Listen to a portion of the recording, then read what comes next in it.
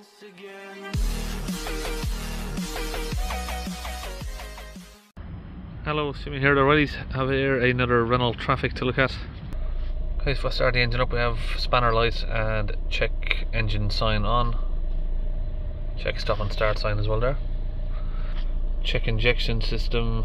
Check anti-pollution system. That's it. You can also get um, engine failure hazard message as well for these types of faults.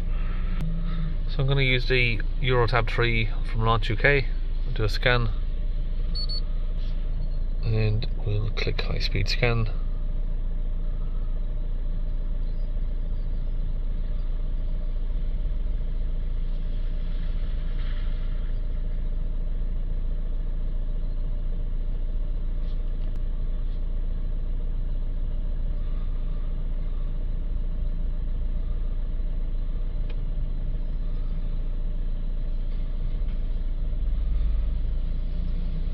Battery open circuit.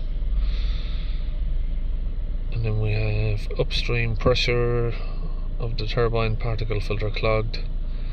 Preheating diagnostic so a lot of the usual stuff there. Inlet pressure consistency coherence the boost pressure and atmospheric pressure.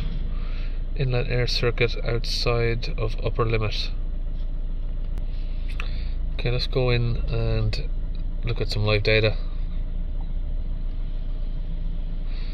Uh, let's see if we can find the boost pressure. Don't know if we can find atmospheric pressure on here.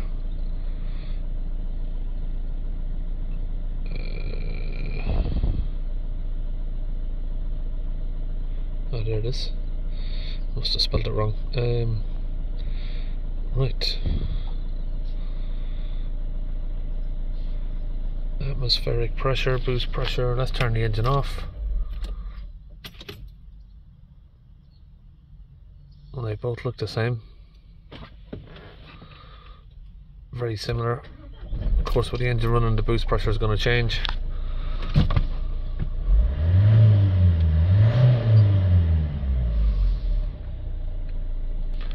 Uh, next, I'm going to look at the upstream pressure and engine speed.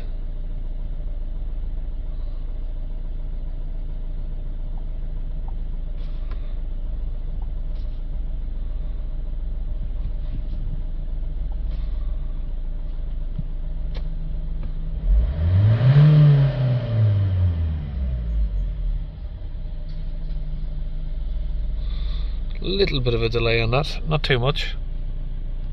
Then we have here the differential pressure of the DPF, which is 20, and we have soot grams at 41.50. Okay, so what I'm doing is setting up a smoke test. I'm going to check for air leaks in the system. So we'll give that about five minutes with that running. Okay, so we couldn't find an air leak, any any boost leaks from the airline system. So I'm just going to have a look at the air filter here. Now I can already see that it looks like it's distorted. You can see the lines are all sort of creasing in, which would give a sign that uh, the air filter itself is struggling to get the air through. You see those those lines are all sort of pulled out of shape. That's what happens when it's trying to suck the air through, but it's the filter itself is blocked, so it sort of distorts the filter by sucking it inwards. It looks quite old. Actually, when I'm feeling it, the filter is wet. filter is wet, so it's been getting wet. You can see we've got a puddle of water sitting here. Um, take it some water has been getting into the filter housing. So I was looking at this puddle and thinking, is that being, you know, dripping its way through there? But the customer said he has drove through some of the floods lately. Now, if you look at these vans, not a lot of people know this, but if you follow the inlet of your van, where the intake air pipe is, you can see that that runs down there, all the way down there, and basically it comes out just under there. So, you know, not much more than a foot of water is going to get into your inlet there. That's your inlet pipe going to your air filter. So I think what's happened is some of that water has got into the inlet and may have caused all of this what's going on here. Okay, so we've got a new air filter here. We'll get that fitted in. Okay, so this is the next step I'm doing, We're removing this upstream pressure sensor pipe and we're gonna have to unblock this metal pipe down here.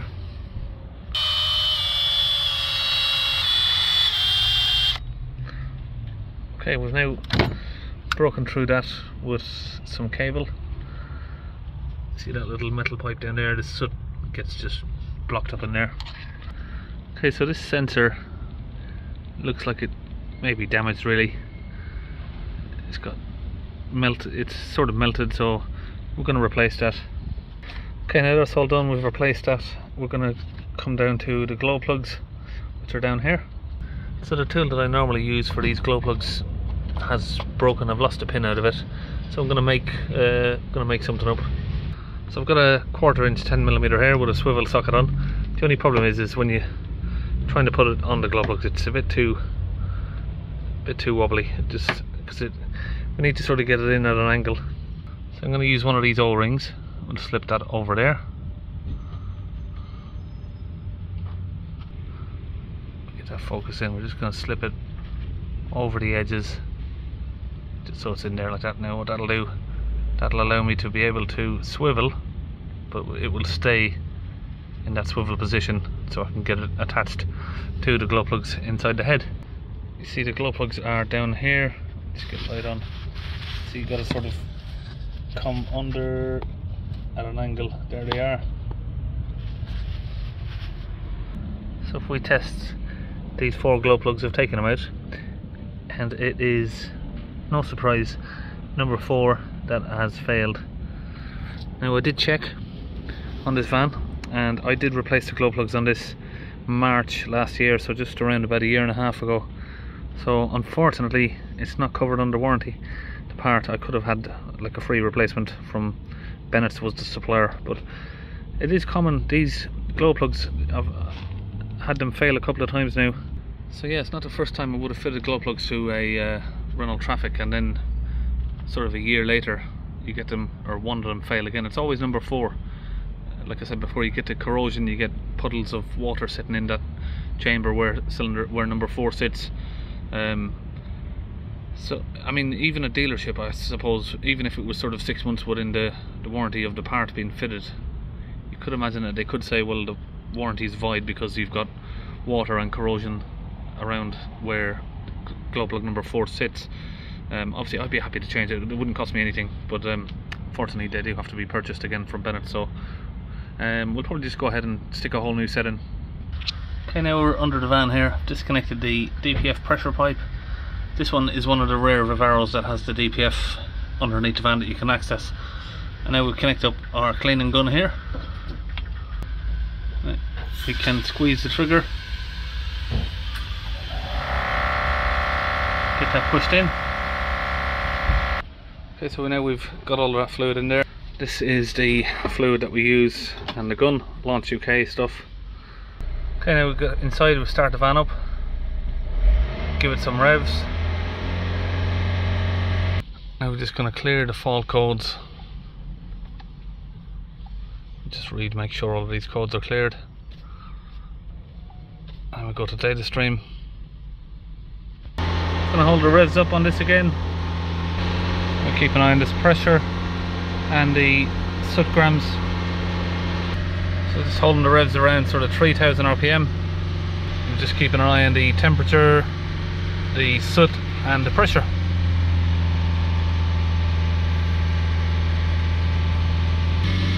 Okay we're getting this pressure down now.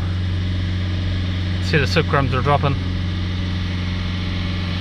So we're at just around 3000 rpm pressure's come down where it needs to be now. Let's let it idle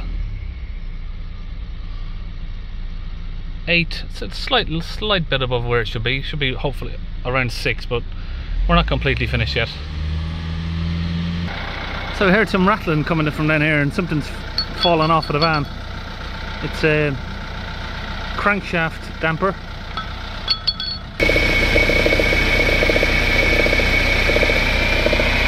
So while we've got it in the air as well, I can see that the shock absorber is in a terrible state also. Okay, we have had this on a test drive and none of the fault codes have returned for the stuff that we've done there. Obviously now we've just highlighted some more issues with the crankshaft uh, pulley. Taking the crankshaft pulley off, so this is how it sort of came apart. That bit section is there, that section comes off.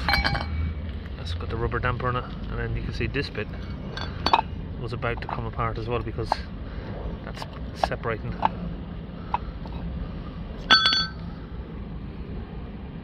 Okay, so we have now sorted, the DPF is sorted, we haven't had the manifold correlation code come back. I'm going to assume that was because he drove through a puddle of water, um, got the air filter wet. Some of that water of course is going to travel through the airway system that could muddle up the um, sensors. The blocked upstream pressure sensor again can cause confusion with boost pressure. Um, but now we've had a little bit of bad luck with the um, crankshaft damper or whatever you call it. Okay, we managed to get a new crankshaft pulley from BGA. That's it magically fitted. Okay, that's the new pulley all fitted on. And we can just lower it down. And we're just about done now, I think. So that's it, I'm all finished on that one. And see you on the next video.